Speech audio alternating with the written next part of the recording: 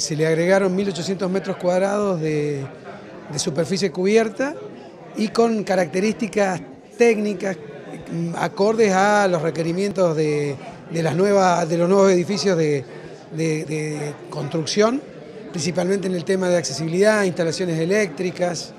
indudablemente que para el Departamento de Geología eh, es un cambio importantísimo porque si uno eh, analiza eh, dónde ellos estaban funcionando y este edificio, la realidad les, cambia totalmente.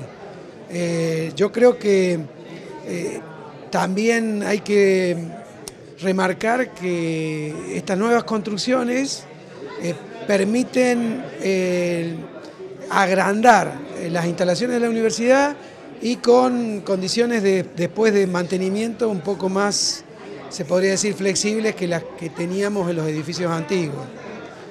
Eh, hay algunas cuestiones que desde el punto de vista tecnológico son nuevas, como ser el, sistema de acondicionamiento de aire, que es todo de última generación con eléctrico, con inverter, eh, que es nuevo y que eh, trata de complementar los otros sistemas, nosotros teníamos mucho, eh, partes de edificios calefaccionadas con, gas, pero la planta de gas con GLP eh, ya estaba en su máxima capacidad. Entonces, este edificio no se podía calefaccionar con gas.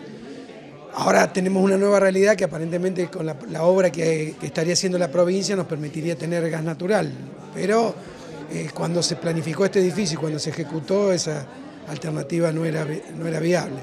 Después también las instalaciones de, señales débiles eh, y instalaciones especiales para los laboratorios son interesantes. Eh, yo creo que, va a permitir eh, cubrir unas necesidades que hasta el momento la universidad no las tenía cubiertas.